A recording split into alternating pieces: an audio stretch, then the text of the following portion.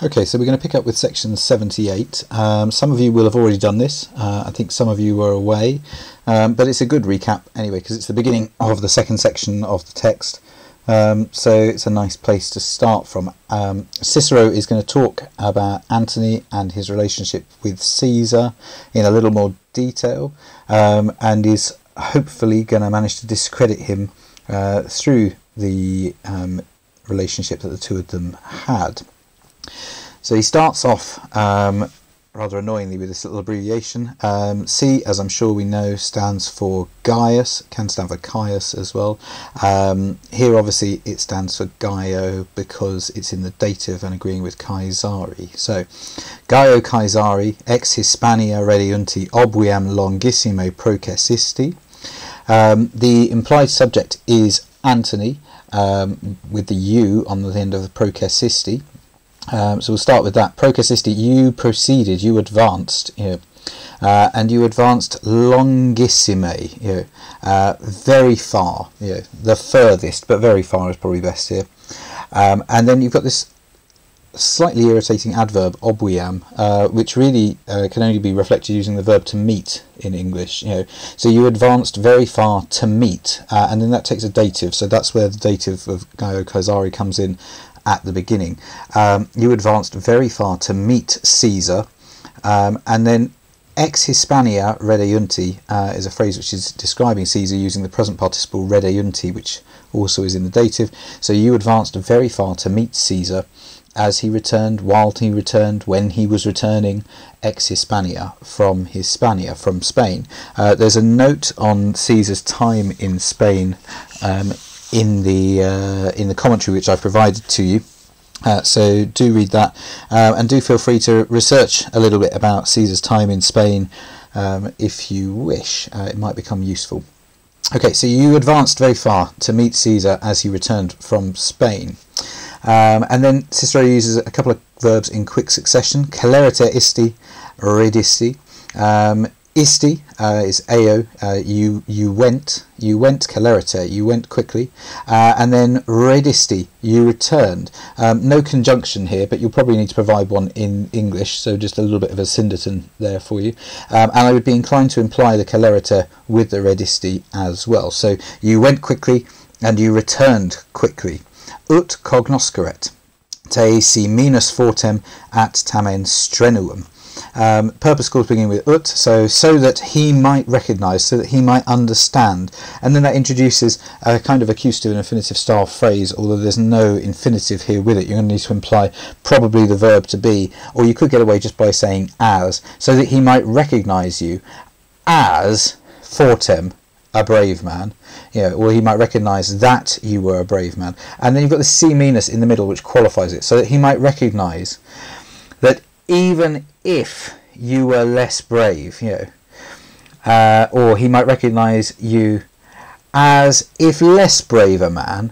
That's slightly clunky in English, I think so. I would probably go with the verb, but he would recognise that even if you were a less brave man, at tamen, at tamen together combined here means something like nevertheless, literally, obviously, but however. So he might recognise that even if you were a less brave man, nevertheless, strenuum.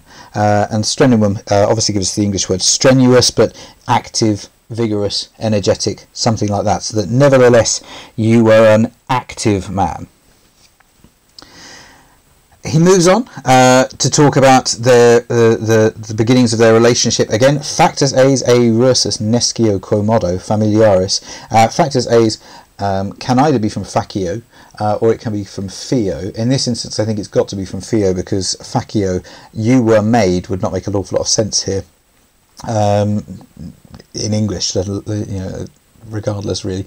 Um, so factus es I would take as you became, uh, and then the adjective following on from that is familiaris right at the end of the phrase. So you were, uh, sorry, you became familiaris intimate, uh, and then you've got rursus in the middle here. So you became intimate again, uh, and then you've got a in the dative, um, so literally intimate to him, but I would suggest intimate with him in English is better. And then this small phrase in the middle, just qualifying Cicero's thoughts on that, nescio quo modo, I don't know how. So you became intimate with him again. I'm not sure how. he then talks about Caesar's qualities uh, a little bit, um, and in doing so, uh, hopes to discredit Antony, um, or at least slur Antony some more. Habebat hoc omnino Caesar.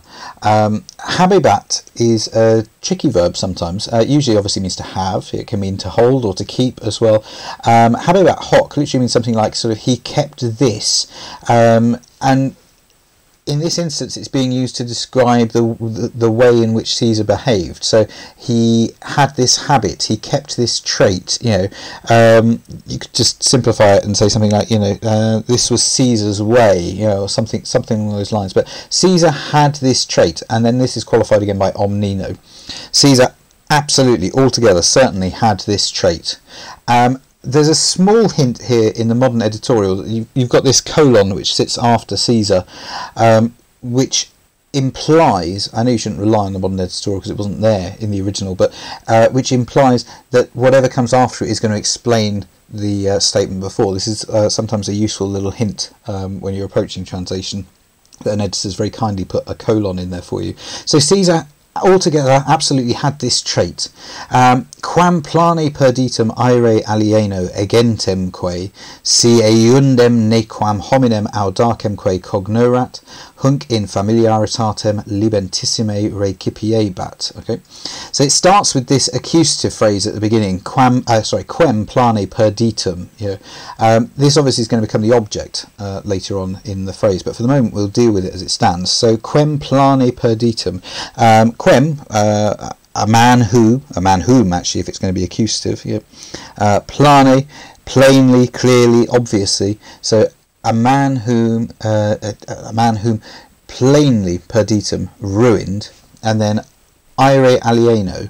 Uh, this is a phrase which we've had before. Um, uh, ice alienus means uh, bronze belonging to another person.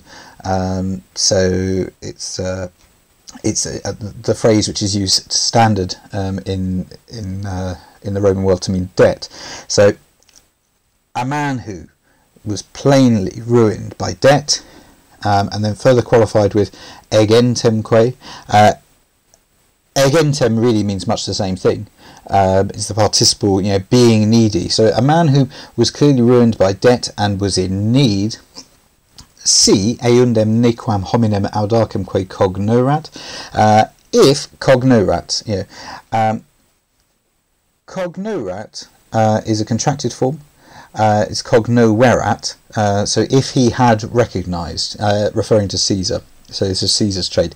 If he had recognised eundem, um, this is obviously from idem, yeah, the same man, but it's in the accusative. So if he recognised this same man, nequam hominem, uh, you're going to need a verb to be again, was a nequam hominem, yeah, uh, a worthless or good for nothing man, and then audacem que, and bold, hunc in familiaritatem libentissime recipiebat. He would receive hunc, he would receive this man. So the hunc at the beginning uh, is the same person as the quem up here so you can take it you know um, in the order that it comes if you want to yeah, and then sort of hook it on using the recipiebat later on um, or you could take the recipiebat first you know, he would receive any man who is clearly ruined by debt and in need if he recognized or if he had recognized literally this same man uh, this same man to be worthless and bold Hunc in familiaritatem libentissime, eagerly he would receive him into his intimacy, into his friendship. Um, he's contrasting the the the characteristics that one might hope for um, in the si minus fortem at tamen strenuum up here. You know, um, the, the, sort of positive sense of of uh, fortis et strenuous. you know, somebody who is brave or strong and active. You know, um, Cicero only ascribes one of those characteristics to Antony up here, um, and then contrasts that sort of sense of you know brave and and active, vigorous with the audacem um, and the nequam uh, over here, you know, uh, calling Antony uh, worthless and audacem bold. Bold sounds like it could be a positive thing. Um, but I think really it means here almost sort of sort of reckless almost. You know, he's he's somebody who is who is up for almost anything. Um, the idea is that although we're talking about Caesar here um, and saying you know uh, he will take on anybody who you know, freely he will take on anybody into his into his sort of friendship circle if that man is ruined with debt and you know and, and sort of reckless.